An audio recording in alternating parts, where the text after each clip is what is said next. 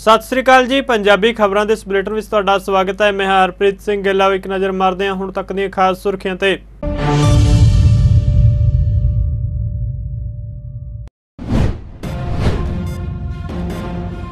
ਕਿਸਾਨ ਆਗੂ ਨਰੇਸ਼ ਟਕੈਤ ਨੇ ਪਹਿਲਵਾਨਾਂ ਨੂੰ ਗੰਗਾ ਵਿੱਚ ਤਮਗੇ ਸੁੱਟਣ ਤੋਂ ਰੋਕਿਆ। ਨਰੇਸ਼ ਟਕੈਤ ਨੇ ਕੇਂਦਰ ਸਰਕਾਰ ਨੂੰ ਦਿੱਤਾ 5 ਦਿਨ ਦਾ ਅਲਟੀਮੇਟਮ ਬ੍ਰਿਜ ਭੂਸ਼ਣ ਖਿਲਾਫ ਰੋਸ ਪ੍ਰਦਰਸ਼ਨ ਕਰ ਰਹੇ ਨੇ ਪਹਿਲਵਾਨ।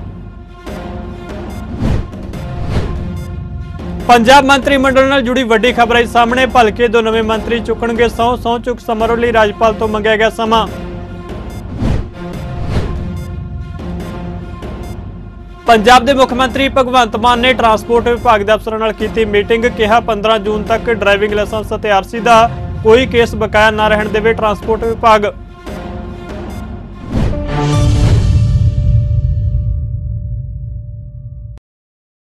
ਤੇ ਹੁਣ ਖਬਰਾਂ ਵਿਸਤਾਰ ਨਾਲ। ਕੁਸ਼ਤੀ ਸੰਘ ਦੇ ਪ੍ਰਧਾਨ ਅਤੇ ਭਾਜਪਾ ਦੇ ਸੰਸਦ ਮੈਂਬਰ ਬ੍ਰਿਜ ਸ਼ਰਨ ਸਿੰਘ ਦੇ ਖਿਲਾਫ ਪਹਿਲਵਾਨਾਂ ਵੱਲੋਂ ਰੋਸ ਪ੍ਰਦਰਸ਼ਨ ਲਗਾਤਾਰ ਜਾਰੀ ਹੈ।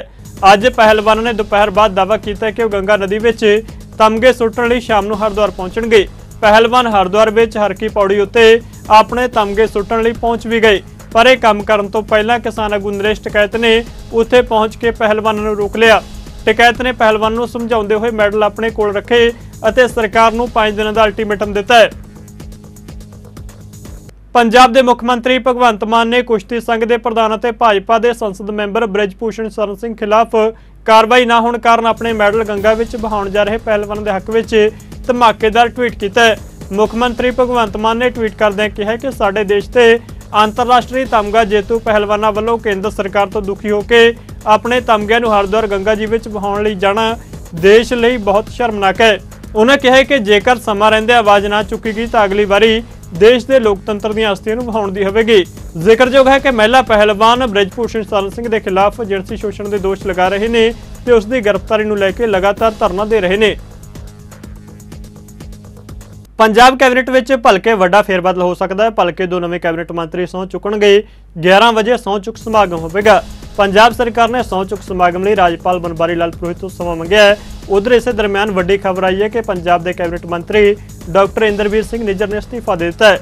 ਫਿਲਹਾਲ ਇਸ ਦੀ ਅਧਿਕਾਰਕ ਤੌਰ ਉੱਤੇ ਕੋਈ ਪੁਸ਼ਟੀ ਨਹੀਂ ਹੋ ਸਕੀ, ਪਰ ਦੱਸਿਆ ਹੀ ਜਾ ਰਿਹਾ ਹੈ ਕਿ ਜਿਸ ਮੰਤਰੀ ਦੀ ਛੁੱਟੀ ਹੋਣੀ ਸੀ, ਉਹ ਇੰਦਰਵੀਰ ਸਿੰਘ ਨਿੱਜਰ ਹੋ ਸਕਦੇ ਨੇ ਤੇ ਇਸੇ ਚੱਕਰ ਦੇ ਵਿੱਚ ਉਹਨੇ ਆਪਣਾ ਅਸਤੀਫਾ ਦਿੱਤਾ ਹੈ। ਆਮ ਲੋਕਾਂ ਦੀਆਂ ਮੁਸ਼ਕਲਾਂ ਘਟਾਉਣ ਦੇ ਉਦੇਸ਼ ਨਾਲ ਵੱਡਾ ਕਦਮ ਚੁੱਕਦਿਆਂ ਪੰਜਾਬ ਦੇ ਮੁੱਖ ਮੰਤਰੀ ਭਗਵੰਤ ਮਾਨ ਨੇ ਅੱਜ ਟਰਾਂਸਪੋਰਟ ਵਿਭਾਗ ਨੂੰ 15 ਜੂਨ ਤੱਕ ਡਰਾਈਵਿੰਗ ਲਾਇਸੈਂਸ ਅਤੇ ਵਾਹਨਾਂ ਦੇ ਰਜਿਸਟ੍ਰੇਸ਼ਨ ਸਰਟੀਫਿਕੇਟਾਂ ਦਾ ਕੋਈ ਕੇਸ ਬਕਾਇਆ ਨਾ ਰਹਿਣ ਦੇਣ ਨੂੰ ਯਕੀਨੀ ਬਣਾਉਣ ਲਈ ਕਿਹਾ ਹੈ। ਆਪਣੇ ਦਫ਼ਤਰ ਵਿੱਚ ਟਰਾਂਸਪੋਰਟ ਵਿਭਾਗ ਦੇ ਅਫਸਰਾਂ ਦੀ ਮੀਟਿੰਗ ਦੀ ਪ੍ਰਧਾਨਗੀ ਕਰਦਿਆਂ ਮੁੱਖ ਮੰਤਰੀ ਨੇ ਲੋਕਾਂ ਨੂੰ ਇਹ ਸੇਵਾਵਾਂ ਸਮਾਬੱਧ ਢੰਗ ਨਾਲ ਮੁਹੱਈਆ ਕਰਵਾਉਣ ਦੀ ਲੋੜ ਤੇ ਜ਼ੋਰ ਦਿੱਤਾ ਹੈ। ਉਹਨੇ ਕਿਹਾ ਕਿ ਸੂਬਾ ਸਰਕਾਰ ਵੱਲੋਂ ਜਾਰੀ ਕੀਤੇ ਡਰਾਈਵਿੰਗ ਲਾਇਸੈਂਸ ਅਤੇ ਆਰਸੀ ਲੋਕਾਂ ਨੂੰ ਮਿਲਣ ਵਿੱਚ ਕਿਸੇ ਕਿਸਮ ਦੀ ਪਰੇਸ਼ਾਨੀ ਨਹੀਂ ਹੋਣੀ ਚਾਹੀਦੀ। ਉਹਨਾਂ ਦੱਸਿਆ ਕਿ ਬੀਤੇ 1 ਮਹੀਨੇ ਵਿੱਚ ਸੂਬਾ ਸਰਕਾਰ ਨੇ 3.8 ਲੱਖ ਨਵੇਂ ਡਰਾਈਵਿੰਗ ਲਾਇਸੈਂਸ ਅਤੇ 3.47 ਲੱਖ ਨਵੀਆਂ ਆਰਸੀ ਦੀ ਛਪਾਈ ਕੀਤੀ ਹੈ। ਰਾਜ ਸਭਾ ਮੈਂਬਰ ਵਿਕਰਮਜੀਤ ਸਿੰਘ ਸਾਨੀ ਨੇ ਪੰਜਾਬ ਯੂਨੀਵਰਸਿਟੀ ਦੀ ਸਿੰਡੀਕੇਟ ਵੱਲੋਂ ਹਾਲ ਹੀ ਵਿੱਚ ਅੰਡਰ ਗ੍ਰੈਜੂਏਟ ਕੋਰਸਾਂ ਵਿੱਚੋਂ ਪੰਜਾਬੀ ਨੂੰ ਲਾਜ਼ਮੀ ਵਿਸ਼ੇ ਵਜੋਂ ਹਟਾਉਣ ਦਾ ਮਾਮਲਾ ਯੂਨੀਵਰਸਿਟੀ ਦੇ ਸਰਵਉੱਚ ਅਧਿਕਾਰੀ, ਪੰਜਾਬ ਯੂਨੀਵਰਸਿਟੀ ਦੇ ਵਾਈਸ ਚਾਂਸਲਰ ਅਤੇ ਭਾਰਤ ਦੇ ਉਪ ਰਾਸ਼ਟਰਪਤੀ ਜਗਦੀਪ ਧਨਖੜ ਕੋਲ ਉਠਾਇਆ। ਉਪ ਰਾਸ਼ਟਰਪਤੀ ਨੂੰ ਲਿਖੇ ਇੱਕ ਹੰਗਾਮੀ ਪੱਤਰ ਵਿੱਚ ਸਾਨੀ ਨੇ ਕਿਹਾ ਕਿ ਪੰਜਾਬ ਯੂਨੀਵਰਸਿਟੀ ਪੰਜਾਬ ਦੇ ਵਿਦਿਆਰਥੀਆਂ ਲਈ ਹੀ ਬਣੀ ਹੈ ਅਤੇ ਇਹਨਾਂ ਵਿਦਿਆਰਥੀਆਂ ਨੂੰ ਉਹਨਾਂ ਦੀ ਮਾਂ ਬੋਲੀ ਦੀ ਪੜ੍ਹਾਈ ਤੋਂ ਵਾਂਝਾ ਨਹੀਂ ਰੱਖਿਆ ਜਾ ਸਕਦਾ। ਉਹਨੇ ਕਿਹਾ ਕਿ ਪੰਜਾਬ ਯੂਨੀਵਰਸਿਟੀ ਨਾਲ ਪੰਜਾਬ ਦੇ 200 ਤੋਂ ਵੱਧ ਕਾਲਜ ਜੁੜੇ ਹੋਏ ਨੇ ਅਤੇ ਇਹਨਾਂ ਵਿਦਿਆਰਥੀਆਂ ਨੂੰ ਹੋਰ ਯੂਨੀਵਰਸਿਟੀਆਂ ਜਿਵੇਂ ਪੰਜਾਬ ਯੂਨੀਵਰਸਿਟੀ ਪਟਿਆਲਾ ਅਤੇ ਗੁਰੂ ਨਾਨਕ ਦੇਵ ਯੂਨੀਵਰਸਿਟੀ ਅੰਮ੍ਰਿਤਸਰ ਦੇ ਵਿਦਿਆਰਥੀਆਂ ਵਾਂਗ ਹੀ ਪੰਜਾਬੀ ਦੀ ਪੜ੍ਹਾਈ ਦੀਆਂ ਸਹੂਲਤਾਂ ਮਿਲਣੀਆਂ ਚਾਹੀਦੀਆਂ ਨੇ। ਸਾਨੀ ਨੇ ਉਪ ਰਾਸ਼ਟਰਪਤੀ ਦੇ ਧਿਆਨ ਵਿੱਚ ਲਿਆਂਦਾ ਕਿ ਸਿੰਡੀਕੇਟ ਦਾ ਇਹ ਫੈਸਲਾ ਪੰਜਾਬ ਭਾਸ਼ਾ ਐਕਟ ਦੀ ਘੋਰ ਉਲੰਘਣਾ ਹੈ ਅਤੇ ਇਸ ਨੂੰ ਤੁਰੰਤ ਬਦਲੇ ਜਾਣ ਦੀ ਲੋੜ ਹੈ। ਸ਼੍ਰੋਮਣੀ ਗੁਰਦੁਆਰਾ ਪ੍ਰਬੰਧਕ ਕਮੇਟੀ ਦੀਆਂ ਚੋਣਾਂ ਨੂੰ ਲੈ ਕੇ ਅਹਿਮ ਖਬਰ ਸਾਹਮਣੇ ਆਈ ਹੈ। ਚੀਫ ਇਲੈਕਸ਼ਨ ਕਮਿਸ਼ਨਰ ਗੁਰਦੁਆਰਾ ਚੋਣਾਂ ਜਸਟਿਸ ਰਿਟਾਇਰਡ ਐਸਐਸ ਸਾਰੋਂ ਵੱਲੋਂ ਪੰਜਾਬ ਦੇ ਮੁੱਖ ਸਕੱਤਰ ਅਤੇ ਸਮੂਹ ਡਿਪਟੀ ਕਮਿਸ਼ਨਰਾਂ ਨੂੰ ਚੋਣਾਂ ਨੂੰ ਲੈ ਕੇ ਵੋਟਰ ਸੂਚੀਆਂ ਬਣਾਉਣ ਦੇ ਹੁਕਮ ਦਿੱਤੇ ਗਏ ਨੇ। ਐਸਐਸ ਸਾਰੋਂ ਨੇ ਦੱਸਿਆ ਕਿ ਸਾਰੇ ਡਿਪਟੀ ਕਮਿਸ਼ਨਰਾਂ ਅਤੇ ਮੁੱਖ ਸਕੱਤਰ ਨੂੰ ਸ਼੍ਰੋਮਣੀ ਕਮੇਟੀ ਚੋਣਾਂ ਲਈ ਵੋਟਾਂ ਬਣਵਾਉਣ ਦੀ ਪ੍ਰਕਿਰਿਆ ਸ਼ੁਰੂ ਕਰਨ ਦੀ ਹਦਾਇਤ ਕੀਤੀ ਗਈ ਹੈ। ਉੱਤਰਾਖੰਡ ਵਿੱਚ ਪਵਿੱਤਰ ਸ਼੍ਰੀ ਹੇਮਕੁੰਟ ਸਾਹਿਬ ਦੀ ਯਾਤਰਾ ਲਗਾਤਾਰ ਚੱਲ ਰਹੀ ਹੈ। ਯਾਤਰਾ ਦੌਰਾਨ ਮੌਸਮ ਸਾਫ਼ ਹੈ, ਜਿਸ ਦੇ ਚੱਲਦਿਆਂ ਸੰਗਤ ਗੁਰਦੁਆਰਾ ਸ਼੍ਰੀ ਹੇਮਕੁੰਟ ਸਾਹਿਬ ਵਿਖੇ ਪਹੁੰਚ ਰਹੀ ਹੈ। ਦੂਜੇ ਪਾਸੇ ਉੱਤਰਾਖੰਡ ਸਰਕਾਰ ਅਤੇ ਗੁਰਦੁਆਰਾ ਸ਼੍ਰੀ ਹੇਮਕੁੰਟ ਸਾਹਿਬ ਮੈਨੇਜਮੈਂਟ ਟਰਸਟ ਵੱਲੋਂ ਹਦਾਇਤਾਂ ਜਾਰੀ ਕੀਤੀਆਂ ਗਈਆਂ ਨੇ। ਮਿਲੀ ਜਾਣਕਾਰੀ ਮੁਤਾਬਕ ਪ੍ਰਸ਼ਾਸਨ ਅਤੇ ਟਰਸਟ ਨੇ ਸਾਰੇ ਸੀਨੀਅਰ ਨਾਗਰਿਕਾਂ ਤੇ ਛੋਟੇ ਬੱਚਿਆਂ ਨੂੰ ਬਰਫ਼ ਪਿਘਲਣ ਤੱਕ ਯਾਤਰਾ ਨਾ ਕਰਨ ਦੀ ਅਪੀਲ ਕੀਤੀ ਹੈ। ਨਾਲ ਹੀ ਯਾਤਰਾ ਕਰ ਰਹੀ ਸੰਗਤ ਨੂੰ ਸਾਵਧਾਨੀ ਵਰਤਣ ਦੀ ਅਪੀਲ ਵੀ ਕੀਤੀ ਗਈ ਹੈ। ਦਿੱਲੀ ਸਿੱਖ ਗੁਰਦੁਆਰਾ ਪ੍ਰਬੰਧਕ ਕਮੇਟੀ ਨੇ ਮਹਾਰਾਸ਼ਟਰ ਦੇ ਮੁੱਖ ਮੰਤਰੀ ਅਤੇ ਡੀਜੀਪੀ ਨੂੰ ਪੱਤਰ ਲਿਖ ਕੇ ਅਪੀਲ ਕੀਤੀ ਕਿ ਉਹ ਮਹਾਰਾਸ਼ਟਰ ਵਿੱਚ ਇੱਕ ਸਿਕਲੀਗਰ ਸਿੱਖ ਨੌਜਵਾਨ ਦੇ ਕਤਲ ਅਤੇ ਹੋਰਨਾਂ ਦੀ ਕੁੱਟਮਾਰ ਅਤੇ ਖਿੱਚਤੂ ਕਰਨ ਵਾਲੇ ਦੋਸ਼ੀਆਂ ਖਿਲਾਫ ਕਾਰਵਾਈ ਕਰਕੇ ਉਹਨਾਂ ਨੂੰ ਜੇਲ੍ਹ ਦੀਆਂ ਸਲਾਖਾਂ ਪਿੱਛੇ ਭੇਜਣਾ ਯਕੀਨੀ ਬਣਾਉਣ ਮੁੱਖ ਮੰਤਰੀ ਏਕਨਾਥ ਸ਼ਿੰਦੇ ਅਤੇ ਡੀਜੀਪੀ ਰਾਜਨੀਸ਼ ਸੇਠ ਨੂੰ ਲਿਖੇ ਵੱਖ-ਵੱਖ ਪੱਤਰਾਂ ਵਿੱਚ ਦਿੱਲੀ ਸਿੱਖ ਗੁਰਦੁਆਰਾ ਪ੍ਰਬੰਧਕ ਕਮੇਟੀ ਦੇ ਪ੍ਰਧਾਨ ਹਰਮੀਤ ਸਿੰਘ ਕਾਲਕਾ ਅਤੇ ਜਨਰਲ ਸਕੱਤਰ ਸਰਦਾਰ ਜਗਦੀਪ ਸਿੰਘ ਕਾਲੋਂ ਨੇ ਕਿਹਾ ਕਿ ਸੂਬੇ ਦੇ ਪਰਭਾਨੀ ਜ਼ਿਲ੍ਹੇ ਦੇ ਪਿੰਡ ਤੜਕਲਾਸ ਵਿੱਚ ਇੱਕ ਮੰਦਭਾਗੀ ਘਟਨਾ ਵਾਪਰੀ ਹੈ। ਜਿਸ ਵਿੱਚ ਕੁਝ ਸ਼ਰਾਰਤੀ ਅਨਸਰ ਸਿਕਲੀਗਰ ਸਿੱਖ ਨੌਜਵਾਨਾਂ ਦੀ ਕੁੱਟਮਾਰ ਕਰਦੇ ਅਤੇ ਖਿੱਚਤੂ ਕਰਦੇ ਇੱਕ ਵੀਡੀਓ ਵਿੱਚ ਨਜ਼ਰ ਆਏ ਨੇ। ਉਹਨਾਂ ਕਿਹਾ ਕਿ ਇਸ ਘਟਨਾ ਵਿੱਚ ਤਿੰਨ ਸਿਕਲੀਗਰ ਸਿੱਖ ਨੌਜਵਾਨਾਂ ਨੂੰ ਰੱਸੀਆਂ ਨਾਲ ਬੰਨ੍ਹ ਕੇ ਬੁਰੀ ਤਰ੍ਹਾਂ ਨਾਲ ਕੁੱਟਮਾਰ ਕੀਤੀ ਗਈ, ਜਿਸ ਵਿੱਚ ਕਿਰਪਾਨ ਸਿੰਘ ਨਾਂ ਦੇ ਇੱਕ ਸਿਕਲੀਗਰ ਸਿੱਖ ਨੌਜਵਾਨ ਦੀ ਮੌਕੇ ਤੇ ਮੌਤ ਹੋ ਗਈ, ਜਦਕਿ ਬਾਕੀ ਜ਼ਖਮੀ ਹੋ ਗਏ। ਉਹਨਾਂ ਕਿਹਾ ਕਿ ਇਸ ਘਟਨਾ ਕਾਰਨ ਦੁਨੀਆ ਭਰ ਵਿੱਚ ਵਸਦੇ ਸਿੱਖ ਭਾਈਚਾਰੇ ਵਿੱਚ ਰੋਸ ਪਾਇਆ ਜਾ ਰਿਹਾ ਹੈ। ਹਾਲ ਹੀ ਵਿੱਚ ਅੰਮ੍ਰਿਤਸਰ ਦੇ ਬਾਬਾ ਬਕਾਲਾ ਸਾਹਿਬ ਦੇ ਕਸਬਾ ਸਠਿਆਲਾ ਵਿੱਚ ਹੋਏ ਕਾਲਜ ਦੇ ਸਾਬਕਾ ਪ੍ਰਧਾਨ ਜਰਨੈਲ ਸਿੰਘ ਦੇ ਕਤਲ ਕੇਸ ਨੂੰ ਲੈ ਕੇ ਪੰਜਾਬ ਪੁਲਿਸ ਨੇ ਬੰਬੀਹਾ ਗੈਂਗ ਦੇ 10 ਸ਼ੂਟਰਾਂ ਦੀਆਂ ਤਸਵੀਰਾਂ ਜਾਰੀ ਕੀਤੀਆਂ ਨੇ। ਇਸ ਗੱਲ ਦੀ ਜਾਣਕਾਰੀ ਡੀਜੀਪੀ ਗੌਰਵ ਯਾਦਵ ਨੇ ਟਵਿੱਟਰ ਜ਼ਰੀਏ ਦਿੱਤੀ ਹੈ। ਟਵਿੱਟਰ ਉੱਤੇ ਪੋਸਟ ਸ਼ੇਅਰ ਕਰਦਿਆਂ ਪੰਜਾਬ ਪੁਲਿਸ ਵੱਲੋਂ ਕਿਹਾ ਗਿਆ ਕਿ ਐਂਟੀ ਗੈਂਗਸਟਰ ਟਾਸਕ ਫੋਰਸ ਨੇ ਇਸ ਪੂਰੀ ਸਾਜ਼ਿਸ਼ ਦਾ ਪਰਦਾਫਾਸ਼ ਕੀਤਾ ਹੈ। ਜਰਨੈਲ ਸਿੰਘ ਦੇ ਕਤਲ ਕੇਸ ਨੂੰ ਅੰਜਾਮ ਦੇਣ ਲਈ ਬੰਬੀਹਾ ਗੈਂਗ ਦੇ 10 ਸ਼ੂਟਰਾਂ ਨੇ ਭੂਮਿਕਾ ਨਿਭਾਈ ਸੀ। ਉਥੇ ਪੁਲਿਸ ਵੱਲੋਂ ਮੁਲਜ਼ਮਾਂ ਦੀ ਗ੍ਰਿਫਤਾਰੀ ਲਈ ਕਾਰਵਾਈ ਕੀਤੀ ਜਾ ਰਹੀ ਹੈ। ਜ਼ਿਕਰਯੋਗ ਹੈ ਕਿ ਬਾਬਾ ਬਕਾਲਾ ਸਾਹਿਬ ਦੇ ਕਸਬਾ ਸਠਿਆਲਾ ਵਿੱਚ 24 ਮਈ ਨੂੰ ਕਾਲਜ ਦੇ ਸਾਬਕਾ ਪ੍ਰਧਾਨ ਜਰਨੈਲ ਸਿੰਘ ਦਾ ਸ਼ੂਟਰਾਂ ਨੇ ਸ਼ਰੇਆਮ ਗੋਲੀਆਂ ਮਾਰ ਕੇ ਕਤਲ ਕਰ ਦਿੱਤਾ ਸੀ। ਹਮਲਾਵਰਾਂ ਨੇ ਜਰਨੈਲ ਸਿੰਘ ਨੂੰ 20 ਤੋਂ 25 ਦੇ ਕਰੀਬ ਗੋਲੀਆਂ ਮਾਰੀਆਂ ਸਨ, ਜਿਸ ਕਾਰਨ ਉਸ ਦੀ ਮੌਕੇ ਤੇ ਮੌਤ ਹੋ ਗਈ ਸੀ। ਮਾਨਯੋਗ ਉਪ ਰਾਸ਼ਟਰਪਤੀ ਜਗਦੀਪ ਧਨਖੜ ਨੇ ਕੰਬੋਡੀਆ ਦੇ ਰਾਜੇ ਮਹਾਰਾਜਾ ਨਰੋਦਮ ਸਿਹਾਮੋਨੀ ਨਾਲ ਮੁਲਾਕਾਤ ਕੀਤੀ ਅਤੇ ਨਵੰਬਰ 2022 ਵਿੱਚ ਭਾਰਤ ਆਸੀਅਨ ਅਤੇ ਪੂਰਬੀ ਏਸ਼ੀਆ ਸਿਖਰ ਸੰਮੇਲਨ ਲਈ ਕੰਬੋਡੀਆ ਦੀ ਫੇਰੀ ਦੌਰਾਨ ਹੋਏ ਆਪਣੇ ਨਿੱਘੇ ਸਵਾਗਤ ਅਤੇ ਚੰਗੀ ਗੱਲਬਾਤ ਨੂੰ ਯਾਦ ਕੀਤਾ। ਇਸ ਮੌਕੇ ਉਹਨਾਂ ਦੁਵੱਲੇ ਸਬੰਧਾਂ ਅਤੇ ਆਪਸੀ ਹਿੱਤ ਦੇ ਹੋਰ ਮੁੱਦਿਆਂ ਉੱਤੇ ਵੀ ਚਰਚਾ ਕੀਤੀ ਹੈ। ਕਿਸਾਨ ਮਜ਼ਦੂਰ ਸੰਘਰਸ਼ ਕਮੇਟੀ ਪੰਜਾਬ ਅਤੇ ਬੀਕੇਯੂ ਏਕਤਾ ਆਜ਼ਾਦ ਵੱਲੋਂ ਨਹਿਰੀ ਪਾਣੀ ਪਾਣੀ ਪ੍ਰਦੂਸ਼ਣ ਅਤੇ ਧਰਾਤਲੀ ਪਾਣੀ ਦੇ ਘਟ ਰਹੇ ਪੱਧਰ ਸਮੇਤ ਪਾਣੀ ਸੰਬੰਧੀ ਹੋਰ ਮੰਗਾਂ ਨੂੰ ਲੈ ਕੇ ਅੰਮ੍ਰਿਤਸਰ ਦੇ 80 ਨਹਿਰੀ ਵਿਭਾਗ ਦੇ ਦਫ਼ਤਰ ਵਿਖੇ ਲਗਾਇਆ ਗਿਆ ਧਰਨਾ ਦੂਜੇ ਦਿਨ ਵੀ ਜਾਰੀ ਰਿਹਾ। ਤਰਨਤਾਰਨ ਜ਼ਿਲ੍ਹੇ ਤੋਂ ਜਥੇਬੰਦਕ ਧਰਨਾਕਾਰੀ ਕਿਸਾਨਾਂ ਮਜ਼ਦੂਰਾਂ ਨੇ ਵੱਡੀ ਗਿਣਤੀ ਵਿੱਚ ਸ਼ਿਰਕਤ ਕੀਤੀ। ਇਸ ਮੌਕੇ ਕਿਸਾਨ ਆਗੂ ਸਰਵਣ ਸਿੰਘ ਪੰਧੇਰ ਨੇ ਧਰਨਾਕਾਰੀ ਨੂੰ ਸੰਬੋਧਨ ਕਰਦਿਆਂ ਕਿਹਾ ਕਿ ਸਰਕਾਰ ਧਰਤੀ ਹੇਠਲੇ ਪਾਣੀ ਨੂੰ ਬਚਾਉਣ ਲਈ ਖੇਤੀ ਲਈ 100% ਰਕਬੇ ਨੂੰ ਨਹਿਰੀ ਪਾਣੀ ਦੇਵੇ। ਉਹਨਾਂ ਕਿਸਾਨਾਂ ਨੂੰ ਅਪੀਲ ਕੀਤੀ ਕਿ ਝੋਨੇ ਦੀ ਫਸਲ ਦੀਆਂ ਘੱਟ ਪਾਣੀ ਲੈਣ ਵਾਲੀਆਂ ਕਿਸਮਾਂ ਬੀਜੀਆਂ ਜਾਣ। ਸਾਡੀਆਂ ਦੋ ਜਥੇਬੰਦੀਆਂ ਦਾ ਬੀਕੇਯੂ ਏਕਤਾ ਆਜ਼ਾਦ ਕਿਸਾਨ ਮਜ਼ਦੂਰ ਸੰਘਰਸ਼ ਕਮੇਟੀ ਪੰਜਾਬ। ਲਗਭਗ 11 ਥਾਵਾਂ ਤੇ ਮੋਰਚਾ ਚੱਲ ਰਿਹਾ। ਇੱਥੇ ਐਸਸੀ ਅੰਮ੍ਰਿਤਸਰ ਲਹਿਰੀ ਵਿਭਾਗ ਦੋ ਜ਼ਿਲ੍ਹੇ ਜਿਹੜੇ ਇੱਥੇ ਮੋਰਚਾ ਲਾ ਕੇ ਬੈਠੇ ਅੱਜ ਮੋਰਚੇ ਦਾ ਦੂਸਰਾ ਦਿਨ ਹੈਗਾ। ਸਭ ਤੋਂ ਵੱਡੀ ਸਾਡੀ ਜਿਹੜੀ ਚਿੰਤਾ ਵਾ, ਇਹ ਵਿਗਿਆਨੀਆਂ ਮਾਹਿਰਾਂ ਦਾ ਕਹਿਣਾ ਹੈਗਾ ਵੀ ਲਗਭਗ 20-25 ਸਾਲ ਤੱਕ ਪੰਜਾਬ ਬੱਜਰ ਹੋ ਜਾਊਗਾ, ਧਰਤੀ ਹੇਠ, ਜ਼ਮੀਨ ਹੇਠ ਪਾਣੀ ਨਹੀਂ ਬਚਣਾ। ਅਖੀਰਲੀ ਲੇਅਰ ਤੇ ਅਸੀਂ ਪਹੁੰਚੇ ਹੈਗੇ ਆ ਸਾਡਾ ਉਹ ਹੈਗਾ ਵੀ ਜ਼ਮੀਨ ਹੇਠਲਾ ਪਾਣੀ ਕਿਵੇਂ ਬਚਾਇਆ ਜਾ ਕੇ ਸਭ ਤੋਂ ਵੱਡੀ ਗੱਲ ਆ 7.8 ਜਿਹੜਾ ਮਿਲੀਅਨ ਏਕੜ ਫੁੱਟ ਪਾਣੀ ਆ, ਜਿਹੜਾ ਦਰਿਆਵਾਂ ਰਾਹੀਂ, ਨਹਿਰਾਂ ਰਾਹੀਂ ਸਾਨੂੰ ਆਉਂਦਾ, ਉਹ ਪੂਰੇ ਹਰ ਖੇਤ ਤੇ ਜਾ ਸਕਦਾ, ਨਹੀਂ ਜਾ ਰਿਹਾ ਹੈਗਾ। ਹਰ ਖੇਤ ਨੂੰ ਨਹਿਰ ਦਾ ਪਾਣੀ ਮਿਲੇ।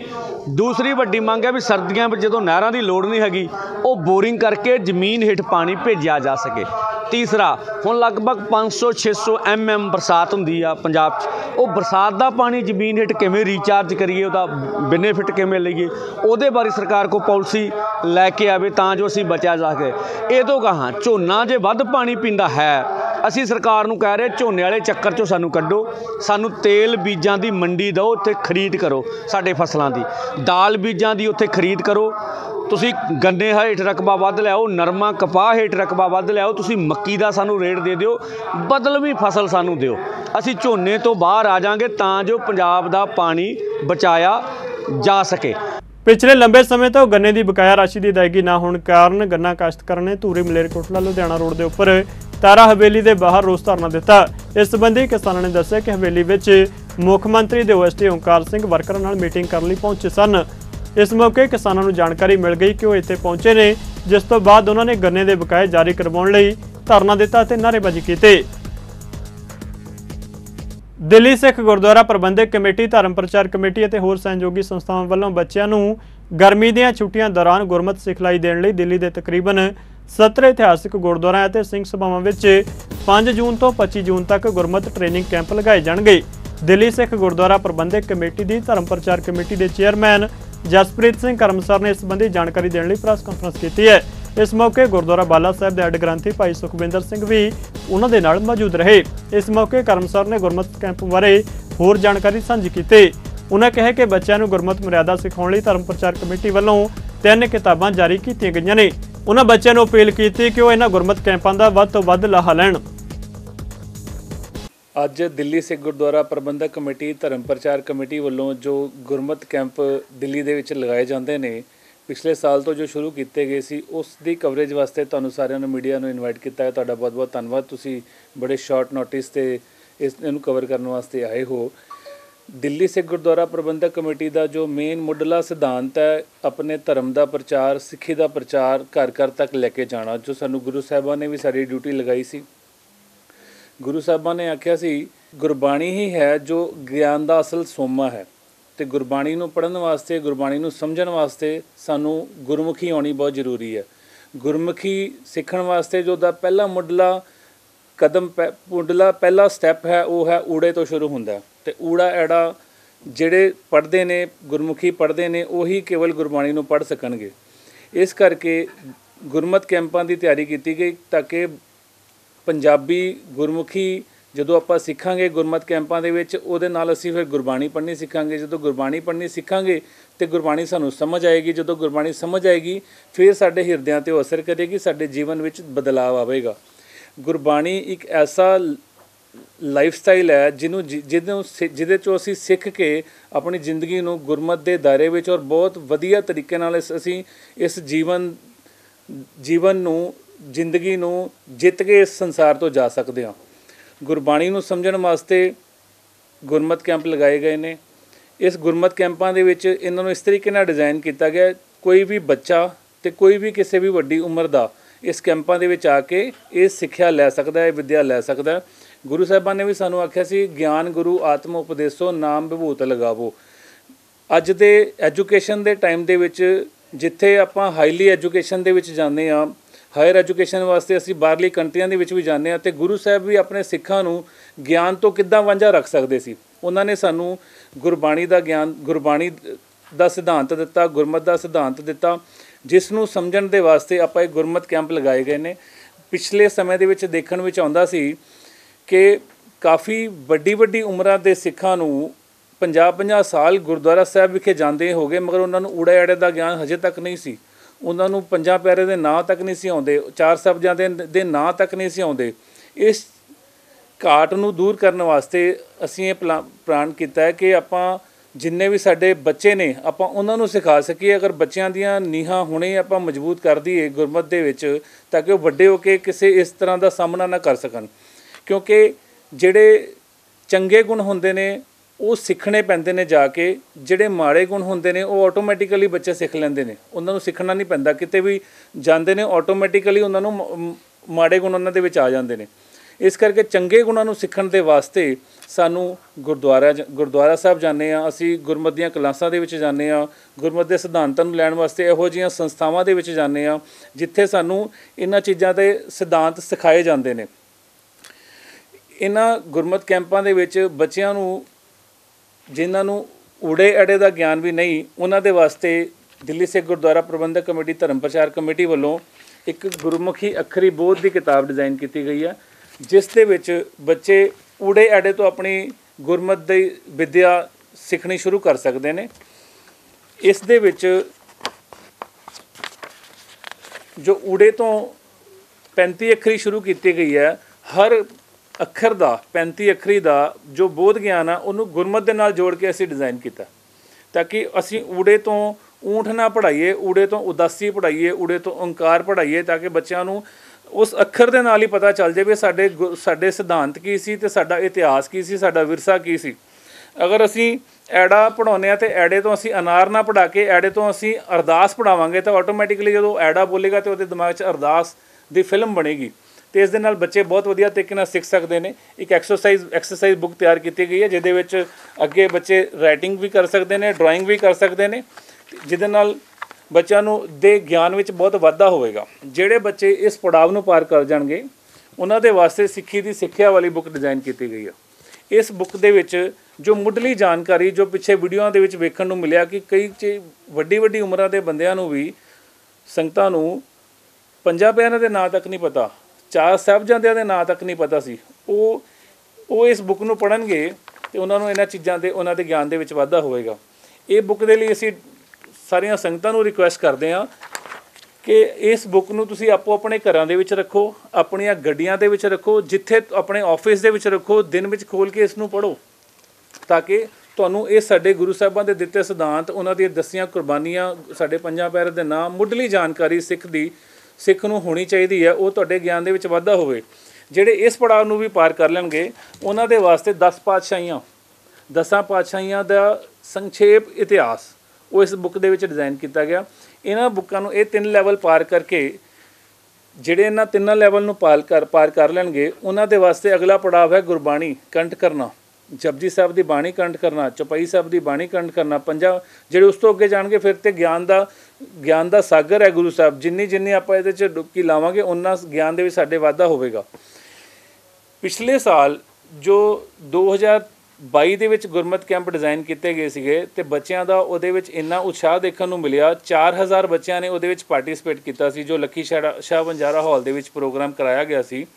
ਦਿੱਲੀ ਦੇ ਇਲਾਕੇ ਵੱਖ-ਵੱਖ ਇਲਾਕਿਆਂ ਦੇ ਵਿੱਚ 47 ਜਗ੍ਹਾ ਤੇ ਕੈਂਪ ਲੱਗੇ ਸੀ ਪਹਿਲੀ ਵਾਰ ਦੇ ਵਿੱਚ। ਤੇ ਦਿੱਲੀ ਦੇ ਵਿੱਚ 47 ਜਗ੍ਹਾ ਤੇ ਕੈਂਪ ਲੱਗੇ, ਜਿਹਦੇ ਵਿੱਚੋਂ ਦਿੱਲੀ ਸਿੱਖ ਗੁਰਦੁਆਰਾ ਪ੍ਰਬੰਧਕ ਕਮੇਟੀ ਵੱਲੋਂ ਪ੍ਰਚਾਰਕਾਂ ਨੇ ਜਾ ਕੇ ਉੱਥੇ ਪ੍ਰਚਾਰ ਕੀਤਾ। ਬੱਚਿਆਂ ਨੂੰ ਗੁਰਬਾਣੀ ਦੀ ਵਿੱਦਿਆ ਦੇਣੀ ਕੀਤੀ। ਉੱਥੇ ਵੱਖ-ਵੱਖ ਸੰਸਥਾਵਾਂ ਨੇ ਵੀ ਉਪਰਾਲੇ ਆਲਰੇਡੀ ਪਹਿਲਾਂ ਤੋਂ ਕਰਦੀਆਂ ਨੇ। ਉਹਨਾਂ ਦਾ ਵੀ ਬੜਾ ਸਹਿਯੋਗ ਮਿਲਿਆ। ਵੋਲੰਟੀਅਰਸ ਨੇ ਜਾ ਕੇ ਆਪਣੇ ਜਿਨ੍ਹਾਂ ਨੂੰ ਪੰਜਾਬੀ ਆਉਂਦੀ ਹੈ, ਜਿਨ੍ਹਾਂ ਨੂੰ ਇਹ ਗਿਆਨ ਆਲਰੇਡੀ ਹੈਗਾ ਵੱਡਿਆਂ ਨੂੰ, ਉਹਨਾਂ ਨੇ ਜਾ ਕੇ ਆਪਣੇ as a teacher as a ਅਧਿਆਪਕ ਜਾ ਕੇ ਬੱਚਿਆਂ ਨੂੰ ਸਿਖਾਉਣਾ ਕੀਤਾ। ਉਹਨਾਂ ਦਾ ਉਹਨਾਂ ਦਾ ਵੀ ਬੜਾ ਸਹਿਯੋਗ ਮਿਲਿਆ। ਅਸੀਂ ਉਹਨਾਂ ਦਾ ਵੀ ਬੜਾ ਧੰਨਵਾਦ ਕਰਦੇ ਹਾਂ। ਉਸ ਚਾਹ ਉਤਸ਼ਾਹ ਨੂੰ ਵੇਖਦਿਆਂ ਐਤਕੀ ਜੋ ਕੈਂਪ ਬਣਾ, ਲਗਾਏ ਜਾ ਰਹੇ ਨੇ, ਦਿੱਲੀ ਸੇ ਗੁਰਦੁਆਰਾ ਪ੍ਰਬੰਧਕ ਕਮੇਟੀ ਵੱਲੋਂ ਐਤਕੀ 70 ਜਗ੍ਹਾ ਤੇ ਕੈਂਪ ਲੱਗ ਰਹੇ ਨੇ। ਜਸਟ ਡਬਲ ਬੱਚਿਆਂ ਦਾ ਇੰਨਾ ਉਤਸ਼ਾਹ ਦੇਖਣ ਨੂੰ ਮਿਲ ਰਿਹਾ। 70 ਜਗ੍ਹਾ ਤੇ ਕੈਂਪ ਲੱਗਣਗੇ। ਵਲੰਟੀਅਰਸ ਬਹੁਤ ਉਤਸ਼ਾਹ ਦੇ ਨਾਲ ਇਹਦੇ ਵਿੱਚ ਆ ਕੇ ਸਾਡਾ ਸਹਿਯੋਗ ਕਰ ਰਹੇ ਨੇ, ਸਹਿਯੋਗੀ ਸੰਸਥਾਵਾਂ ਵੀ ਬਹੁਤ ਸਹਿਯੋਗ ਕਰ ਰਹੀਆਂ ਨੇ। ਅਸੀਂ ਸਾਰਿਆਂ ਨੂੰ ਜੀ ਆਇਆਂ ਕਹਿੰਦੇ ਆ ਇੱਕ ਤੁਹਾਡੇ ਚੈਨਲ ਦੇ ਮਾਧਿਅਮ ਤੋਂ ਅਸੀਂ ਸਾਰੀ ਦਿੱਲੀ ਦੇ ਵਲੰਟੀਅਰਸ ਨੂੰ ਇਹ ਬੇਨਤੀ ਕਰਨਾ ਚਾਹੁੰਦੇ ਹਾਂ, ਜਿਨ੍ਹਾਂ ਨੂੰ ਆਲਰੇਡੀ ਗੁਰਮੁਖੀ ਆਉਂਦੀ ਹੈ, ਗੁਰਬਾਣੀ ਦਾ ਗਿਆਨ ਰੱਖਦੇ ਨੇ, ਇਹ ਮੁੱਢਲੀ ਜਾਣਕਾਰੀ ਆਲਰੇਡੀ ਉਹਨਾਂ ਨੂੰ ਹੈਗੀ ਹੈ ਤੇ ਆਓ ਆਪਾਂ ਸਾਰੇ ਮਿਲ ਕੇ ਦਿੱਲੀ ਦੇ ਵੱਖ-ਵੱਖ ਇਲਾਕਿਆਂ ਦੇ ਵਿੱਚ ਜਾ ਕੇ ਇਸ ਕੈਂਪ ਨੂੰ ਲਗਾ ਕੇ ਇਸ ਗਿਆਨ ਨੂੰ, ਇਸ ਗੁਰਬਾਣੀ ਦੀ ਸੰਥਿਆ ਨੂੰ ਆਪਾਂ ਘਰ ਘਰ ਤੱਕ ਪਹੁੰਚਾਈਏ ਤੇ ਬੱਚਿਆਂ ਨੂੰ ਸਿਖਾਈਏ। ਇਸ ਤੋਂ ਇਲਾਵਾ ਇੱਕ ਜਾਣਕਾਰੀ ਹੋਰ ਦੇਣਾ ਚਾਹੁੰਦੇ ਆ ਕਿ ਬੱਚਿਆਂ ਦੇ ਵਿੱਚ ਚੇਤਨਤਾਈ ਐਕਸਾਈਟਮੈਂਟ ਭਰਨ ਦੇ ਵਾਸਤੇ ਜਿੱਥੇ ਬੱਚੇ 20 ਦਿਨ ਇਹਨਾਂ ਕੈਂਪਾਂ ਦੇ ਵਿੱਚ ਇਸ ਵਿਦਿਆ ਲੈਣਗੇ, ਹਰ ਐਤਵਾਰ ਨੂੰ 25 ਤਰੀਕ ਤੱਕ ਜਿੰਨੇ ਵੀ ਐਤਵਾਰ ਸਾਡੇ ਕੋਲ ਆਉਣਗੇ, ਤਿੰਨ ਜਾਂ ਚਾਰ, ਉਹਨਾਂ ਦੇ ਵਿੱਚ ਪ੍ਰਧਾਨ ਹਰਮੀਤ ਸਿੰਘ ਜੀ ਕਾਲਕਾ, ਜਨਰਲ ਸਕੱਤਰ ਜਗਦੀਪ ਸਿੰਘ ਜੀ ਕਾਲੋਂ, ਉਹਨਾਂ ਨਾਲ ਸਲਾਹ ਕਰਕੇ ਅਸੀਂ ਇੱਕ ਮੈਰਾਥਨ ਵੀ ਪਲਾਨ ਕਰ ਰਹੇ ਹਾਂ ਦਿੱਲੀ ਦੇ ਤਿੰਨ ਜ਼ੋਨਾਂ ਦੇ ਵਿੱਚ, ਈਸਟ, ਵੈਸਟ ਔਰ ਨਾਰਥ ਦੇ ਵਿੱਚ। ਉਹ ਵੀ, ਉਹਦੇ ਵਿੱਚ ਵੀ ਬੱਚਿਆਂ ਨੂੰ ਅਸੀਂ ਰਿਕੁਐਸਟ ਕਰਾਂਗੇ ਕਿ ਸੰਡੇ ਸਵੇਰੇ ਅਸੀਂ ਉਹਦਾ ਸਲਿਪ ਉਹਦਾ ਟਾਈਮਿੰਗ ਤੁਹਾਨੂੰ ਭੇਜ ਦਿਆਂਗੇ, ਉਹਦੇ ਵਿੱਚ ਵੀ ਸਾਰਿਆਂ ਨੇ ਹਿੱਸਾ ਲੈਣਾ। ਗੁਰੂ ਨਾਨਕ ਸਾਹਿਬ ਜੀ ਦਾ ਫਰਮਾਨ ਹੈ, ਸਿੱਖੀ ਸਿੱਖਿਆ ਗੁਰ ਵਿਚਾਰ। ਗੁਰਮਤ ਮਾਰਗ ਦਾ ਪਾਂਧੀ ਬਣਨਾ ਹੈ, ਤਾਂ ਉਸ ਨੂੰ ਗੁਰਮਤ ਦੀ ਸਿੱਖਿਆ ਦਾ ਜਾਣੂ ਹੋਣਾ ਬਹੁਤ ਜ਼ਰੂਰੀ ਹੈ। ਗੁਰਬਾਣੀ ਵਿੱਚ ਗੁਰੂ ਸਾਹਿਬ ਜੀ ਨੇ ਸਾਨੂੰ ਇੱਕ ਉੱਤਮ ਸਿੱਖਿਆ ਦਿੱਤੀ ਹੈ ਕਿ ਗੁਰਸਿੱਖ ਮੀਤ ਚਲੋ ਗੁਰ ਚਾਲੀ, ਜੋ ਗੁਰ ਕਹੈ ਸੋਈ ਭਲ ਮਾਨੋ, ਹਰ ਹਰ ਕਥਾ ਨਿਰਾਲੀ। ਮੈਂ ਬਚਪਨ ਵਿੱਚ ਪੜ੍ਹਦਾ ਸੀ ਆਪਣੇ ਉਸਤਾਦਾਂ ਤੋਂ ਕਿਵੇਂ ਗੁਰੂ ਅੰਗਦ ਸਾਹਿਬ ਮਹਾਰਾਜ ਗੁਰਮਤ ਦੇ ਕੈਂਪ ਖੰਡੂਰ ਸਾਹਿਬ ਵਿੱਚ ਲਾਉਂਦੇ ਸੀ। ਸਿੱਖੀ ਦੇ ਵਿੱਚ ਸਭ ਤੋਂ ਪਹਿਲਾਂ ਗੁਰਮਤ ਦੇ ਕੈਂਪਾਂ ਦੀ ਆਰੰਭਤਾ ਉਹ ਗੁਰੂ ਅੰਗਦ ਸਾਹਿਬ ਜੀ ਨੇ ਖੰਡੂਰ ਸਾਹਿਬ ਦੀ ਧਰਤੀ ਤੇ ਕੀਤੀ। ਬਾਲ ਬੋਧ ਬੱਚਿਆਂ ਵਾਸਤੇ ਤਿਆਰ ਕਰਕੇ ਉੱਥੇ ਉਹਨਾਂ ਵਾਸਤੇ ਮੱਲ ਅਖਾੜੇ ਕਾਇਮ ਕੀਤੇ ਤੇ ਹਰ ਤਰੀਕੇ ਦੀ ਜਿੱਥੇ ਗੁਰਮਤ ਦੀ ਟ੍ਰੇਨਿੰਗ ਉੱਥੇ ਫਿਜ਼ੀਕਲ ਟ੍ਰੇਨਿੰਗ ਉਹਨਾਂ ਨੂੰ ਦਿੱਤੀ ਹੈ। ਸੋ ਉੱਥੋਂ ਪ੍ਰੇਰਣਾ ਮਿਲੀ ਅਤੇ ਬਚਪਨ ਵਿੱਚ ਜਦੋਂ ਅਸੀਂ ਕੈਂਪ ਲਾਉਂਦੇ ਸੀਗੇ, ਆਪਣੇ ਉਸਤਾਦਾਂ ਤੋਂ ਪੜ੍ਹਦੇ ਸੀ, ਤਾਂ ਇੱਕ ਕਵਿਤਾ ਮੇਰੇ ਜ਼ਿਹਨ ਵਿੱਚ ਬਹਿ ਗਈ। ਕਿ ਅਸੀਂ ਹਾਂ ਕਲਗੀ ਧਰ ਦੇ ਲਾਲ, ਉੱਚੇ ਸੁੱਚੇ ਸਾਡੇ ਖਿਆਲ, ਗੁਰਮਤ ਸਿੱਖ ਕੇ ਅਸਾਂ ਸਿਖਾਉਣੀ, ਅੰਮ੍ਰਿਤਧਾਰੀ ਕੌਮ ਬਣਾਉਣੀ। ਉੱਥੋਂ ਮੈਂ ਫਿਰ ਤੁਰ ਪਿਆ ਇਸ ਮੁਹਿੰਮ ਨੂੰ ਅੱਗੇ ਵਧਾਉਣ ਵਾਸਤੇ। ਸੋ ਕਈ ਸਾਲ ਦਿੱਲੀ ਦੇ ਵੱਖ-ਵੱਖ ਇਲਾਕਿਆਂ ਵਿੱਚ ਜਾ ਕੇ ਜਿਹੜਾ ਬੱਚਿਆਂ ਨੂੰ ਪੰਜਾਬੀ ਪੜ੍ਹਾਈ, ਨਿਤਨੇਮ ਦੀ ਸੰਥਿਆ ਕਰਾਈ, ਉਸ ਤੋਂ ਬਾਅਦ ਜਦੋਂ ਮੈਨੂੰ ਸੇਵਾ ਪ੍ਰਾਪਤ ਹੋਈ ਦਿੱਲੀ ਸਿੱਖ ਗੁਰਦੁਆਰਾ ਪ੍ਰਬੰਧਕ ਕਮੇਟੀ ਵਿੱਚ ਬਤੌਰ ਹੈੱਡ ਗ੍ਰੰਥੀ ਤੇ ਫਿਰ ਯਤਨ ਕੀਤਾ ਗਿਆ ਕਿ ਧਰਮ ਪ੍ਰਚਾਰ ਕਮੇਟੀ ਦੇ ਨਾਲ ਰਲ ਕੇ ਇਸ ਮੁਹਿੰਮ ਨੂੰ ਗੁਰਮਤ ਪ੍ਰਚਾਰ ਦੀ ਨੂੰ ਅੱਗੇ ਤੋਰਿਆ ਜਾਏ। ਅੱਜ ਜਿੱਥੇ ਮੈਨੂੰ ਧਰਮ ਪ੍ਰਚਾਰ ਕਮੇਟੀ ਦਾ ਪੂਰਨ ਸਹਿਯੋਗ ਮਿਲ ਰਿਹਾ ਔਰ ਉੱਥੇ ਦਿੱਲੀ ਸਿੱਖ ਗੁਰਦੁਆਰਾ ਪ੍ਰਬੰਧਕ ਕਮੇਟੀ ਦੇ ਪ੍ਰਧਾਨ ਸਾਹਿਬ ਸਰਦਾਰ ਹਰਮੀਤ ਸਿੰਘ ਕਾਲਕਾ ਜੀ, ਸਰਦਾਰ ਜਸਪ੍ਰੀਤ ਸਿੰਘ ਜੀ ਕਰਮਸਰ ਜੀ, ਸਾਡੇ ਚੇਅਰਮੈਨ ਸਾਹਿਬ ਅਤੇ ਸਕੱਤਰ ਸਾਹਿਬ ਸਰਦਾਰ ਜਗਦੀਪ ਸਿੰਘ ਜੀ ਕਾਲੋਂ। ਸੋ ਇਹਨਾਂ ਨੇ ਕਿਹਾ ਵੀ ਗਿਆਨੀ ਜੀ, ਜੋ ਲਿਟਰੇਚਰ ਗੁਰਮਤ ਦਾ ਚਾਹੀਦਾ ਉਹ ਤੁਸੀਂ ਤਿਆਰ ਕਰੋ। ਇਹ ਲਿਟਰੇਚਰ ਜਿਹੜਾ ਤੁਸੀਂ ਵੇਖ ਰਹੇ ਹੋ, ਅਸੀਂ ਪਿਛਲੇ ਸਾਲ ਤੋਂ ਲੱਗ ਕੇ ਤਿਆਰ ਕੀਤਾ ਹੈਗਾ। ਸੋ ਇਹ ਕਿਤਾਬਾਂ ਮੁੱਢਲੀਆਂ ਨੇ। ਹਜੇ ਇਹ ਬਹੁਤ ਮੁੱਢਲੀ ਜਾਣਕਾਰੀ ਹੈ ਤਾਂ ਕਿ ਇਹ ਮੁੱਢਲੀ ਜਾਣਕਾਰੀ ਹਰ ਕੌਮ ਦੇ ਬੱਚੇ ਕੋਲ ਪੁੱਜੇ। ਇਹਦੇ ਨਾਲ ਨਾਲ ਸਿੱਖ ਰਹਿਤ ਮਰਿਆਦਾ ਜੋ ਅਕਾਲ ਤਖਤ ਸਾਹਿਬ ਤੋਂ ਪੰਥ ਪ੍ਰਮਾਣਿਤ ਹੈ, ਉਹ ਹਰ ਇੱਕ ਸਿੱਖ ਨੂੰ ਜਿਹੜਾ ਅਸੀਂ ਪੜ੍ਹਾ ਸਕੀਏ, ਕਿਵੇਂ ਜਿਹੜਾ ਹੈ ਉਹ ਸਿੱਖ ਦੀ ਜੀਵਨ ਦੀ ਰੋਹਰੀਤ ਹੋਣੀ ਚਾਹੀਦੀ ਹੈ। ਸਿੱਖ ਨੇ ਜੀਵਨ ਕਿਵੇਂ ਜੀਣਾ ਹੈ? ਚਾਰ ਸੰਸਕਾਰਾਂ ਦੀ ਜਿਵੇਂ ਗੱਲ ਹੈਗੀ ਆ, ਦੇਖਣ ਵਿੱਚ ਆਉਂਦਾ ਹੈ ਕਿ ਸਾਡੇ ਘਰਾਂ ਵਿੱਚੋਂ ਗੁਰਮਤ ਜਿਹੜੀ ਹੈ ਉਹ ਮਨਫੀ ਹੋ ਜਾਂਦੀ ਹੈ। ਸੋ ਜਦੋਂ ਅਸੀਂ ਆਪਣੇ ਬੱਚਿਆਂ ਨੂੰ ਚਾਰ ਸੰਸਕਾਰਾਂ ਬਾਰੇ ਪੜ੍ਹਾ ਦਿਆਂਗੇ ਗੁਰਮਤ ਕੈਂਪ ਦੇ ਵਿੱਚ, ਤੇ ਉਹਨਾਂ ਨੂੰ ਪਤਾ ਲੱਗੇਗਾ ਕਿਵੇਂ ਇਹ ਰੋਲ ਨਿਭਾਉਣਾ। ਇਹਦੇ ਵਿੱਚ ਹੁਣ ਸਾਨੂੰ ਜਿਹੜਾ ਹੈ ਉਹ ਨਾਲ ਦੀ ਨਾਲ ਜਿੰਨੇ ਵੀ ਦਿੱਲੀ ਸਿੱਖ ਗੁਰਦੁਆਰਾ ਪ੍ਰਬੰਧਕ ਕਮੇਟੀ ਦੇ ਵਿੱਚ ਜਿਹੜਾ ਸੇਵਾਵਾਂ ਨਿਭਾਉਂਦੇ ਨੇ, ਸਿੰਘ ਸਾਹਿਬਾਨ, ਪ੍ਰਚਾਰਕ ਸਾਹਿਬਾਨ, ਗ੍ਰੰਥੀ ਸਾਹਿਬਾਨ ਸਾਰਿਆਂ ਨੇ ਜਿਹੜਾ ਭਰਮਾ ਹੁੰਗਾਰਾ ਦਿੱਤਾ ਔਰ ਸਾਰੇ ਮੋਢੇ ਨਾਲ ਮੋਢਾ ਜੋੜ ਕੇ ਮੇਰੇ ਨਾਲ ਖੜੇ ਨੇ ਕਿ ਗੁਰਮਤ ਦੀ ਜਿਹੜੀ ਗੱਲ ਹੈ ਉਹ ਘਰ ਘਰ ਤੱਕ ਪਹੁੰਚਾ ਸਕੀਏ। ਸੋ ਪੂਰੀ ਧਰਮ ਪ੍ਰਚਾਰ ਕਮੇਟੀ ਸਾਡੀ ਜਿਹੜੀ ਹੈ ਉਹ ਸਾਨੂੰ ਪ੍ਰਚਾਰ ਵਾਸਤੇ ਖੁੱਲ੍ਹ ਦੇ ਰਹੀ ਹੈ। ਚੇਅਰਮੈਨ ਸਾਹਿਬ ਨੇ ਕਿਹਾ ਵੀ ਜਿੱਥੇ ਵੀ 70 ਕੈਂਪ ਲੱਗ ਰਹੇ ਨੇ, ਉੱਥੇ ਹਰ ਥਾਂ ਤੇ ਜਿਹੜਾ ਸਾਡੇ ਪ੍ਰਚਾਰਕ ਪੁੱਜਣਗੇ ਅਤੇ ਬੱਚਿਆਂ ਨੂੰ ਗੁਰਮਤ ਦਾ ਜਿਹੜਾ ਸੰਦੇਸ਼ ਹੈ ਉਹ ਦੇਣਗੇ।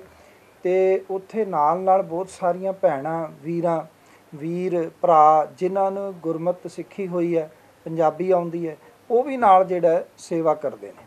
ਸੋ ਇਸ ਤਰ੍ਹਾਂ ਇਹ ਗੁਰਮਤ ਦੇ ਕੈਂਪਾਂ ਦਾ ਜਿਹੜਾ ਕਾਰਜ ਹੈ, ਉਹ ਨਿਸ਼ਕਾਮ ਤੌਰ ਤੇ ਇਹਦੇ ਵਿੱਚ ਵੱਡੀ ਗੱਲ ਹੈ ਕਿ ਸਾਰੇ ਆਪਣਾ ਦਸਵੰਧ ਜਿਹੜਾ ਸਮੇਂ ਦਾ ਦੇ ਰਹੇ ਨੇ ਅਤੇ ਨਿਸ਼ਕਾਮ ਤੌਰ ਤੇ ਸਾਰੇ ਇਸ ਸੇਵਾ ਵਿੱਚ ਜੁਟ ਗਏ ਨੇ। ਸਿੱਖ ਜਥੇਬੰਦੀਆਂ ਤੇ ਦਮਦਮੀ ਟਕਸਾਲਾ ਜਨਾਲਾ ਨੇ ਪਟਿਆਲਾ ਨੇੜਲੇ ਪਿੰਡ ਕਲਿਆਣ ਵਿੱਚ ਸਥਿਤ ਗੁਰਦੁਆਰਾ ਸਾਹਿਬ ਵਿੱਚੋਂ 100 ਸਾਲ ਪੁਰਾਣਾ ਸ੍ਰੀ ਗੁਰੂ ਗ੍ਰੰਥ ਸਾਹਿਬ ਜੀ ਦਾ ਸਰੂਪ ਚੋਰੀ ਹੋਣ ਦੇ ਮਾਮਲੇ ਵਿੱਚ ਕਥਿਤ ਦੋਸ਼ੀ ਦੇ ਘਰੋਂ ਸ੍ਰੀ ਗੁਰੂ ਗ੍ਰੰਥ ਸਾਹਿਬ ਜੀ ਦੇ ਪਾਵਨ ਸਰੂਪ ਸ਼ਰਧਾ ਸਤਿਕਾਰ ਨਾਲ ਲਿਆਂਦੇ। ਇਸ ਮੌਕੇ ਦਮਦਮੀ ਟਕਸਾਲਾ ਜਨਾਲਾ ਦੇ ਮੁਖੀ ਭਾਈ ਅਮਰੀਕ ਸਿੰਘ ਜਨਾਲਾ ਅਤੇ ਸੁਖਜੀਤ ਸਿੰਘ ਖੋਸਾ ਨੇ ਕਿਹਾ ਕਿ ਸ੍ਰੀ ਗੁਰੂ ਗ੍ਰੰਥ ਸਾਹਿਬ ਜੀ ਦੇ ਚਾਰ ਪਾਵਨ ਸਰੂਪ ਅਤੇ ਪੋਥੀਆਂ ਬਾਬੇ ਗੋਰੇ ਦੇ ਘਰੋਂ ਸ਼ਰਧਾ ਸਤਿਕਾਰ ਨਾਲ ਲਿਆਂਦੀਆਂ ਗਈਆਂ ਨੇ।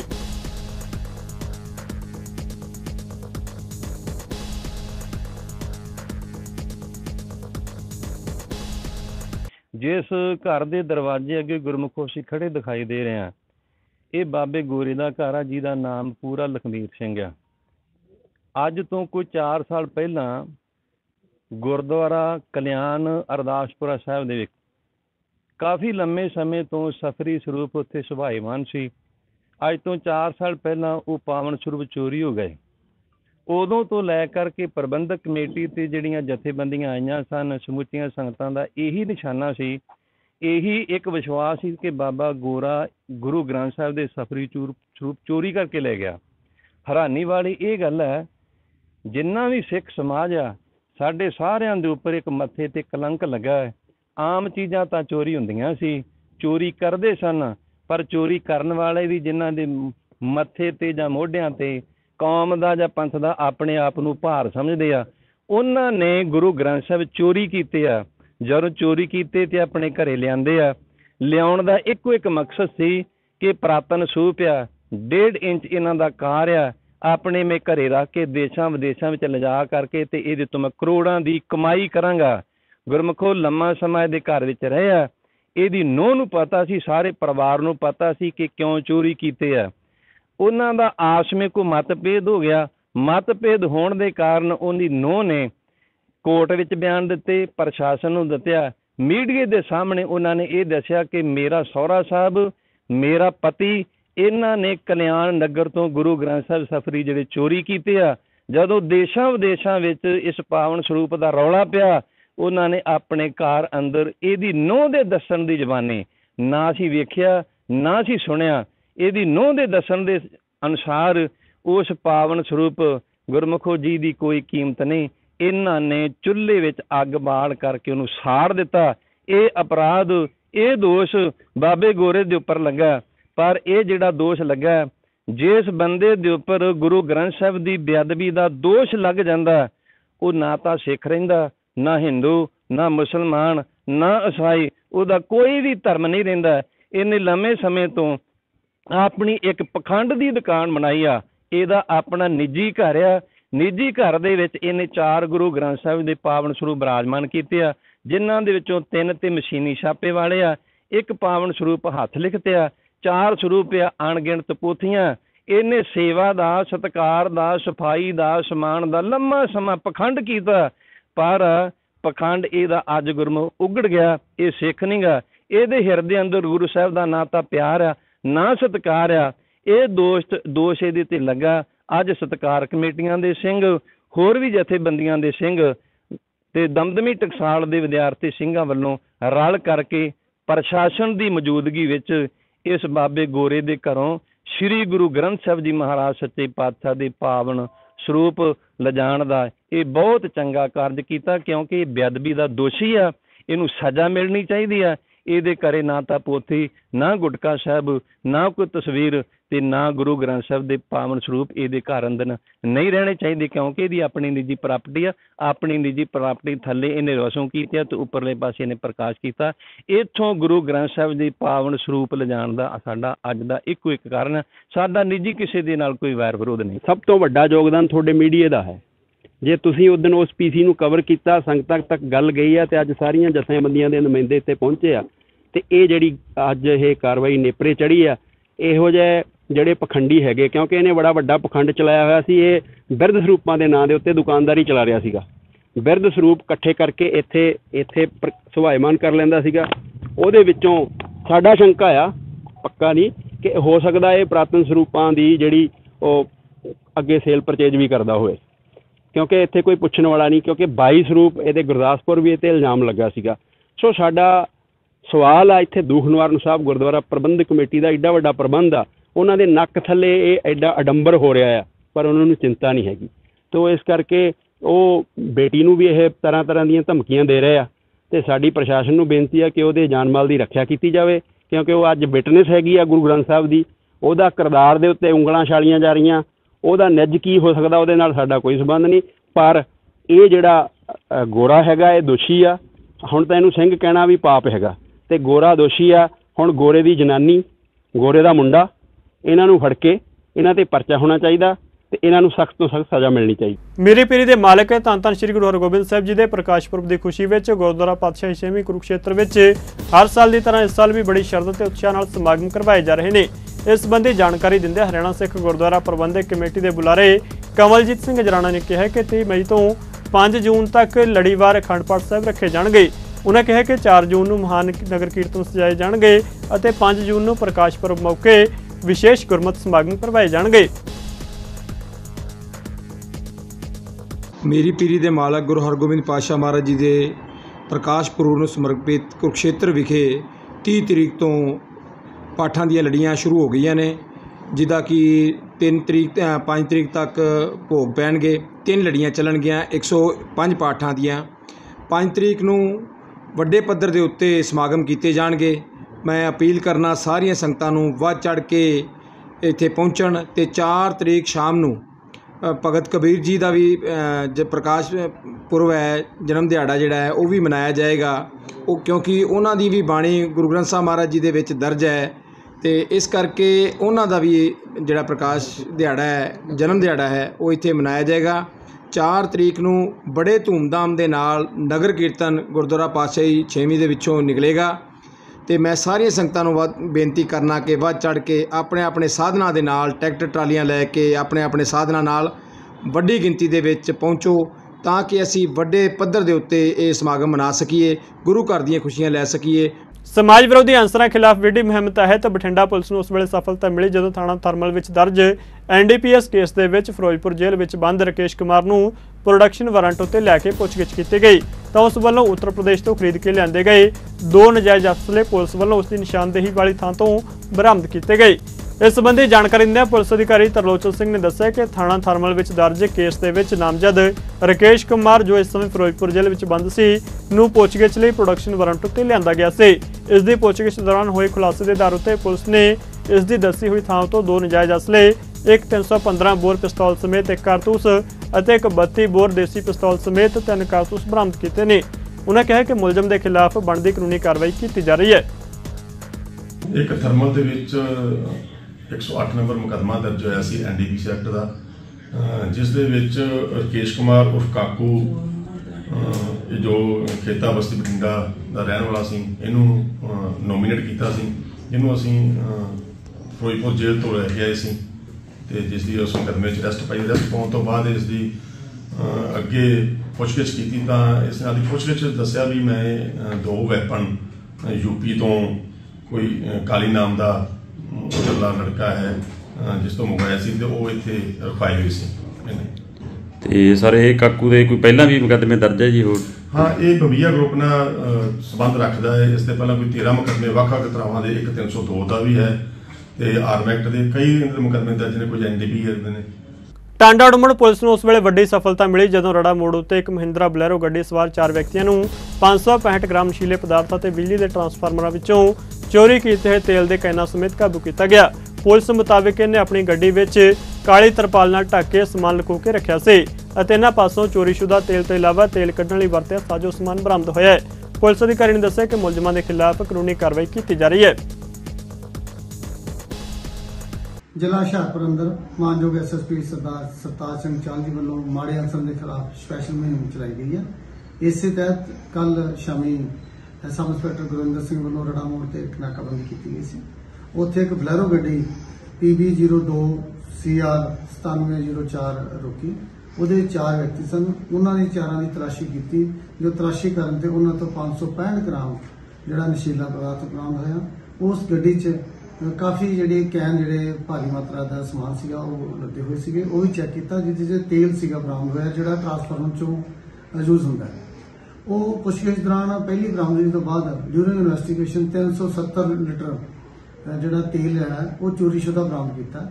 ਇਹਨਾਂ ਵਿਅਕਤੀਆਂ ਨੇ ਥਾਣੇ ਟਾਂਡੇ 'ਚ, ਜ਼ਿਲ੍ਹਾ ਹੁਸ਼ਿਆਰਪੁਰ ਤੇ ਜ਼ਿਲ੍ਹਾ ਹੁਸ਼ਿਆਰਪੁਰ ਤੋਂ ਬਾਅਦ ਵੀ ਕਾਫੀ ਟਰਾਂਸਫਾਰਮਰ 'ਚੋਂ ਵੱਖ-ਵੱਖ ਜਗ੍ਹਾ ਤੋਂ ਵੱਖ-ਵੱਖ ਤਰੀਕ ਨੂੰ ਇਹਨਾਂ ਨੇ ਤੇਲ ਚੋਰੀ ਕੀਤਾ। ਇਹ ਬੰਦੇ ਚਾਰਾਂ ਨੇ ਇੱਕ ਗੈਂਗ ਬਣਾਇਆ। ਇਹ ਰਲ ਕੇ ਚਾਰੇ ਜਾਣੇ ਪਹਿਲਾਂ ਚੋਰੀਆਂ ਕਰਦੇ ਆ, ਉਹਦਾ ਤੇਲ ਵੇਚਦੇ ਆ, ਉਹਦੇ ਚੋਂ ਨਸ਼ਾ ਲੈਂਦੇ ਆ ਤੇ ਨਸ਼ਾ ਅੱਗੇ ਸਪਲਾਈ ਕੀਤੇ ਆ। ਇਹ ਕੱਲ ਟਾਂਡਾ ਪੁਲਿਸ ਨੇ ਕਾਫੀ ਵੱਡੀ ਬਰਾਮਦਗੀ ਕੀਤੀ ਆ। ਇਹਨਾਂ ਨੂੰ ਮਾਨਯੋਗ ਅਦਾਲਤ ਜੱਜ ਪੇਸ਼ ਕਰਕੇ ਫਿਰ ਬਾਕੀ ਵੀ ਜਿਹੜੀ ਇਹਦੀ ਇਨਵੈਸਟੀਗੇਸ਼ਨ ਕੰਪਲੀਟ ਕੀਤੀ ਜਾਊਗੀ ਜ਼ਹੂਰਾ ਤਲਵੰਡੀ ਡਡਿਆਣਾ ਮਾਰਗ ਉੱਤੇ ਅੱਜ ਬਾਅਦ ਦੁਪਹਿਰ ਵਾਪਰੇ ਇੱਕ ਸੜਕ ਹਾਦਸੇ ਵਿੱਚ ਮੋਟਰਸਾਈਕਲ ਸਵਾਰ ਔਰਤ ਦੀ ਮੌਤ ਹੋ ਗਈ, ਜਦਕਿ ਮੋਟਰਸਾਈਕਲ ਸਵਾਰ ਉਸ ਦਾ ਪਤੀ ਕਾਰ ਦੀ ਲਪੇਟ ਵਿੱਚ ਆਉਣ ਨਾਲ ਗੰਭੀਰ ਜ਼ਖਮੀ ਹੋ ਗਿਆ। ਮ੍ਰਿਤਕਾ ਦੀ ਪਹਿਚਾਣ ਨਰਿੰਦਰ ਕੌਰ ਵਜੋਂ ਹੋਈ ਹੈ। ਜ਼ਖਮੀ ਹਰਜਿੰਦਰਪਾਲ ਸਿੰਘ ਨੂੰ 108 ਐਂਬੂਲੈਂਸ ਰਾਹੀਂ ਟਾਂਡਾ ਦੇ ਸਰਕਾਰੀ ਹਸਪਤਾਲ ਵਿੱਚ ਦਾਖਲ ਕਰਵਾਇਆ ਗਿਆ, ਜਿੱਥੇ ਉਸ ਨੂੰ ਮੁੱਢਲੀ ਸਹਾਇਤਾ ਤੋਂ ਬਾਅਦ ਜਲੰਧਰ ਰੈਫਰ ਕੀਤਾ ਗਿਆ। ਹਾਦਸੇ ਦੀ ਜਾਂਚ ਪੁਲਿਸ ਵੱਲੋਂ ਆਰੰਭ ਦਿੱਤੀ ਗਈ ਹੈ। ਪੰਜਾਬੀ ਖਬਰਾਂ ਦੇ ਇਸ ਬੁਲੇਟਿਨ 'ਚ ਫਿਲਹਾਲ ਨਹੀਂ ਜਾਂਦੇ ਆਂਦੇ ਨਜ਼ਰ ਮਾਰਦੇ ਮੌਸਮ ਦੇ ਹਾਲ ਤੇ। ਤੁਸੀਂ ਬਣੇ ਰਹੋ ਚੜ੍ਹਦੀ ਕਲਾ ਟਾਈਮ ਟਿਪ ਦੇ ਨਾਲ। ਧੰਨਵਾਦ।